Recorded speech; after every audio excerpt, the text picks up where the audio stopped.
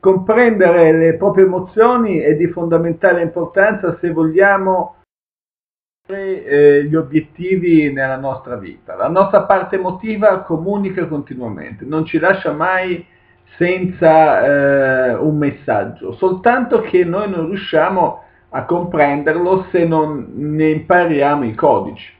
E la nostra comunicazione, diciamo, la nostra parte emotiva comunica in modo analogico, in modo non verbale e soprattutto comunica attraverso il nostro corpo perché il nostro corpo è eh, diciamo, fatto di energia e le emozioni sono fatte di energia e mozione è energia in movimento.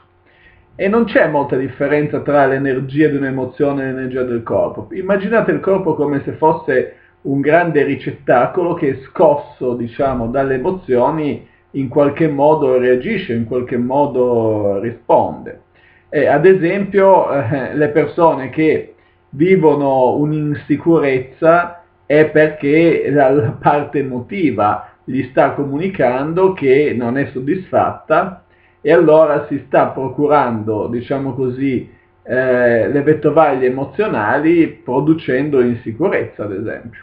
E noi se vogliamo eh, quindi capire in, le nostre emozioni, che cosa ci stanno dicendo, in prima istanza dobbiamo osservare noi stessi, ma senza fare neanche grosse introspezioni, osservare se stessi, osservarci come interagiamo con gli altri, eh, osservare quelle che sono le nostre paure.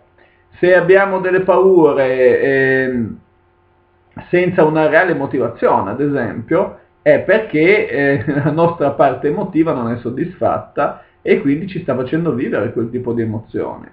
Cosa vuol dire? Cioè, è ovvio che una, quando è che una paura non è motivata? Quando non esiste un, eh, un motivo logico razionale ad avere, ad avere quella paura, insomma. Eh, certo che uno se vive in un paese di guerra può avere tranquillamente paura di uscire di casa, ma uno che, una persona che ha paura di parlare in pubblico per dire piuttosto che paura di interfacciarsi con le persone, no, non c'è una reale motivazione in tutto questo perché non, di fatto non si corre nessun rischio. Ma la cosa fondamentale è che però la parte emotiva te la fa vivere lo stesso, per manifestarti il fatto che non è soddisfatto. Quindi quando hai una paura, prendi questa paura come se fosse veramente un'informazione. Eh, un'informazione è anche, diciamo, il tuo corpo, come reagisce, come si muove, se hai delle rigidità, se hai dei blocchi, e tutto parla di emozioni.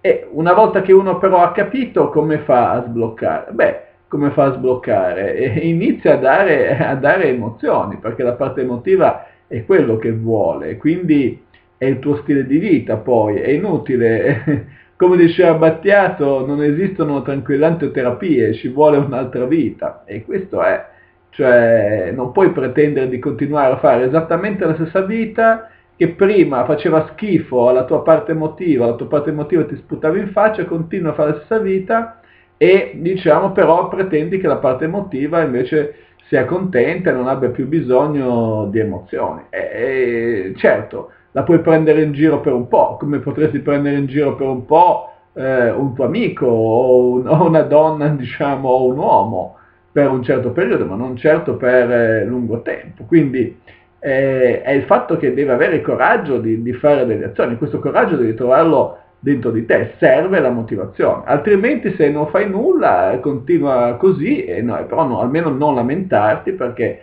sai che è, è causa tua, insomma, eh, e che causa del suo male eventualmente dove piangere se stesso, ma non andare in giro a, eh, diciamo, rompere le scatole agli altri. Bene, per questo video è tutto, ti do appuntamento al prossimo, seguimi anche sul blog seduzionevi.com, ciao!